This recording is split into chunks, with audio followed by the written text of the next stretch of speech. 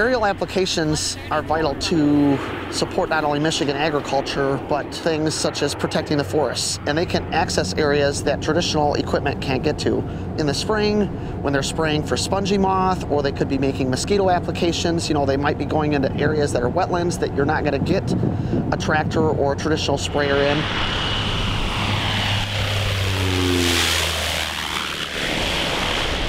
So we have staff from the Michigan Department of Agriculture and Rural Development, mostly from our pesticide section. We also have the pilots, uh, who are all members of the Michigan Aerial Applicators Association and also the national group.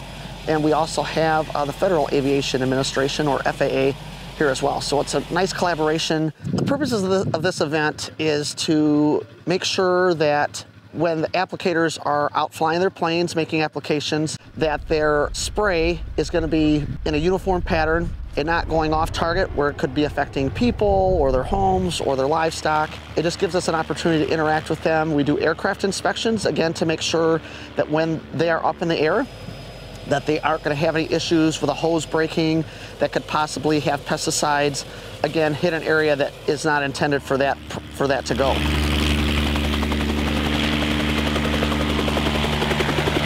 Pilot will bring his aircraft in and they have uh, a boom, which is basically a big large tube that has nozzles on it, and that's where the pesticide comes out when they're when they're spraying a crop.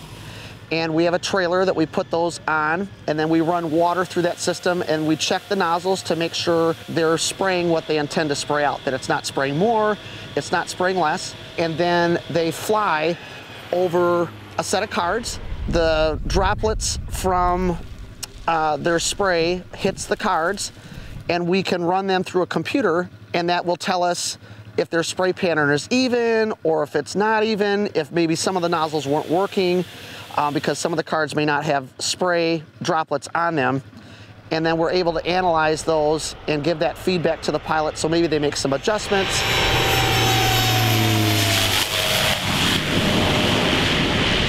Because they have to make such large circles to get down to the field, they sometimes have to fly over people's houses or the road.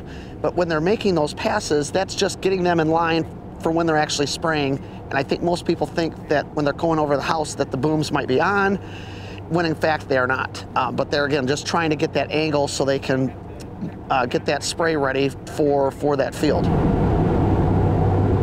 If it's six o'clock in the morning, and I hear a plane above my house, that would be concerning to me. So we absolutely understand the public's concern, um, and the pilots are very concerned about that as well.